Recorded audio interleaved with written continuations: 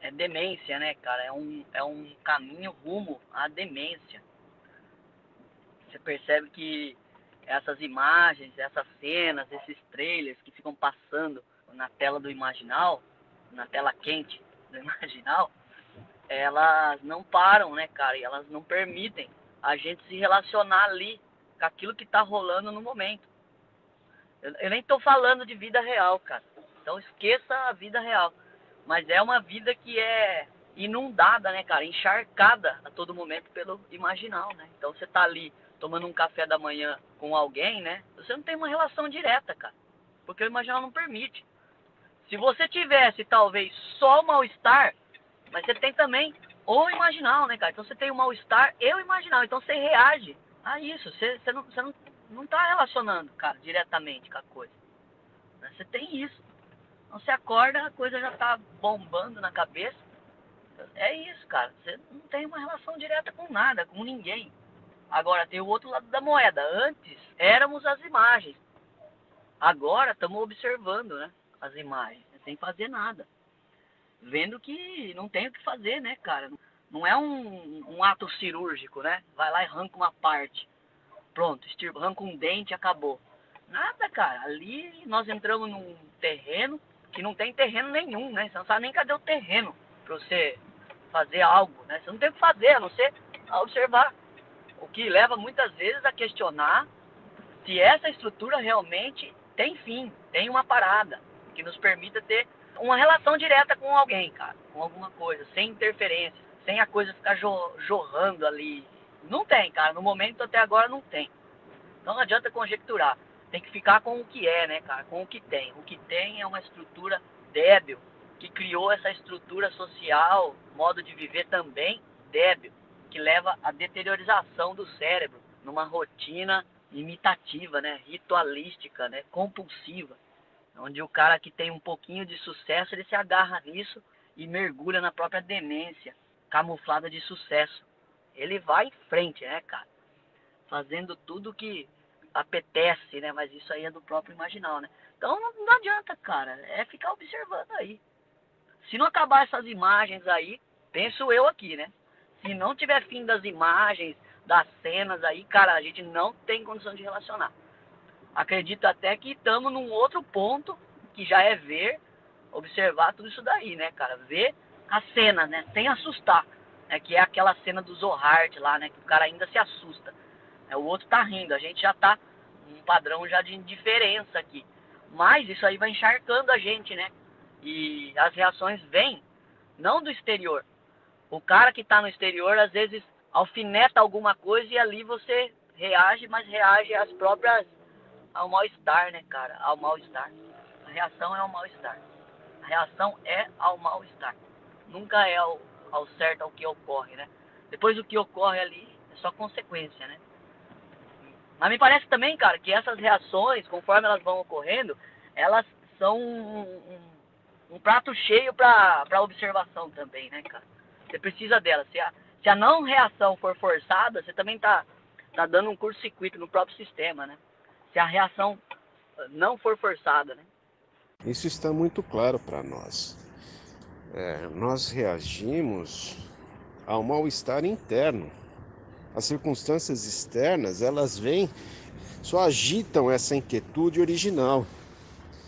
Então aí nós estamos reagindo como se fosse a circunstância externa, mas não é. É o próprio mal-estar. Porque se você estivesse se sentindo bem, o outro pode estar tá fazendo o que for, você não está nem aí não, cara. Você vira as costas e sai andando. Se há uma base diferente de ser, você consegue olhar para toda a insanidade que está no meio e dizer, pai, perdoa, porque eles não sabem o que fazem. No nosso caso, não tem isso, cara. Está sempre reagindo ou fazendo um esforço fora do comum para não reagir externamente. Mas uma vez que chacoalhou a estrutura, você fica ali pulando por dentro, né, cara? Querendo pegar o indivíduo, querendo pegar as circunstâncias, punir, castigar, moralizar. Essa estrutura é isso. É uma estrutura maledicente, rancorosa, vingativa, traiçoeira. Ela é isso. Tá aqui. Tá ali dentro. E fazendo uma força para não vir. Por causa dos condicionamentos sociais, né, cara? Moralismo. Mas o bicho tá pulando por dentro, cara. Em todos, velho. Tá todo mundo fazendo um esforço fora do comum. Se agitar, se riscar o ego do cidadão, se riscar a estrutura, aí some a imagem autocriada e aparece o que é mesmo a estrutura do indivíduo. É uma estrutura que, inclusive, se apega num monte de sistema de crenças e leis para tentar deter aquilo que ela realmente é, que ela sabe que ela é, mas que faz um esforço fora do comum para apresentar algo diferente que bata com aquilo que a sociedade estabeleceu como o comportamento correto do viver. Mas é só isso, chacoalhe um pouquinho que você vai ver. Não tem como ter uma relação real porque você está entrando em contato não com o real, mas com os condicionamentos que você formulou do que deva ser o real, com seus achismos, com suas preferências condicionadas pelo tempo, pela sua fragmentação de percepção da realidade. Nós nunca estamos vendo o que é como realmente é. Tá sempre os nossos achismos, nossas manias, nossos traumas, nossos medos, nossos cálculos, sempre ali embotando a percepção da realidade e impedindo uma relação real. Isso aí só força um ajustamento também ao que você tem condicionado como sendo o modo de viver correto. E cada um tem um condicionamento do que é, acha que é o viver correto. E aí fica essas disputas aí da estrutura que quer provar para o outro que o seu modo de viver é o correto, que o modo de viver do outro não é o correto. É isso que a gente vê em todas as chamadas relações que não tem nada de relação real. Está mais do que claro. Se não ocorreu uma mutação em nosso modo de ver, de receber e interagir, nós permanecemos na mesma. Só que agora de modo equilibrado, consciente, sem reagir a qualquer sugestão, seja do próprio imaginal adoentado, ou do imaginal de qualquer outro indivíduo que também se encontra no funcionamento da mesma estrutura condicionada. Cada um com sua forma de condicionamento. Trata-se de uma estrutura que é cheia de traumas, manias, debilidades, rancores, facilmente suscetível à doentada estrutura de terceiros, incapaz de compaixão e genuína conexão. Nós estamos presos nisso. Apesar de saber, nós estamos presos nisso. É uma estrutura que não sabe o que está fazendo aqui nesse mundo, que não sabe como viver nele de modo pacífico e prazeroso. Pacífico consigo mesmo, não estou nem falando com o outro, né? Porque a falta de passividade com o outro é só um derrame da falta de passividade interna. Então, enquanto permanecer nossa atual estrutura psíquica, não temos como saber o que é o viver. O que é uma vida em liberdade, em felicidade, amor e significativas linhas de ação. Não tem como. É game over mesmo.